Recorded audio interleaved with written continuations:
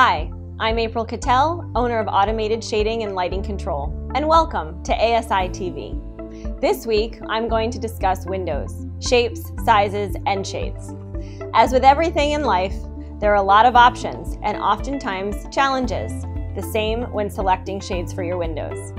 Sometimes, the architectural design of the windows doesn't always provide an easy solution for installing a window shade. Windows, like people, come in all shapes and sizes. While this is great for customizing your living space and beautiful views, it can prove to be complicated when it comes to reselecting the proper shade that will give you the functionality you need for privacy or sun control. Windows used to be simple, square for the most part, and often much smaller than the architectural designs we see today. Now windows can be designed in many shapes, sizes, and depths. Some of the most common uncommon window shapes we have seen range from really tall windows, expanses 30 to 40 feet wide, to unique geometric shapes.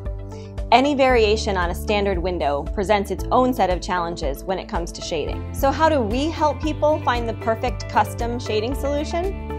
To start, if possible, we will look at the window details early in a new project, considering things such as the depth of the finished window jamb, width of the buck or wood framing on each side where the window is installed, or the height of the window header.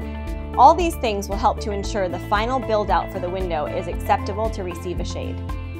Next, we'll consider the mounting area of the shade that is best for fit and function.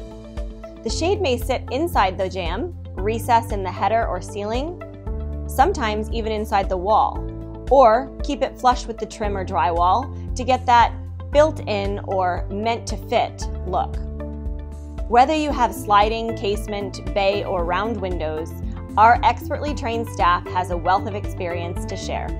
In addition, ASI will specify a shade housing or top treatment to achieve the best look and design for the space. We'll identify how to conceal motors, hardware, and wiring, and even help to design the framing for any build-outs or recess shades, complete with the drawings or architectural plans. We then fabricate and install everything you need for the ideal custom fit shade system. So, to add sophistication and precision to your window shading and natural lighting environment, we have the team to help, no matter what the size or shape or what your favorite window may be, we can custom design the perfect product to meet your needs.